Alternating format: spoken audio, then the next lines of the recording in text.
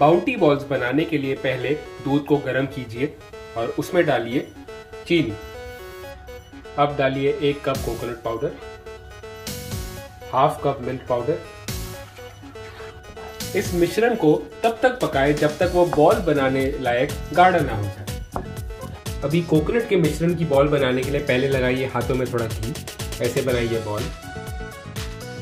अभी इन coconut balls को 30 minute के लिए फ्रीजर में रखिए।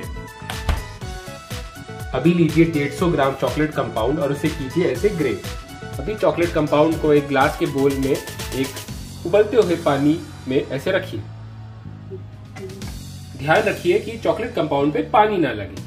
अभी कोकोनट बॉल्स को मेल्टेड चॉकलेट कंपाउंड में डिप कीजिए।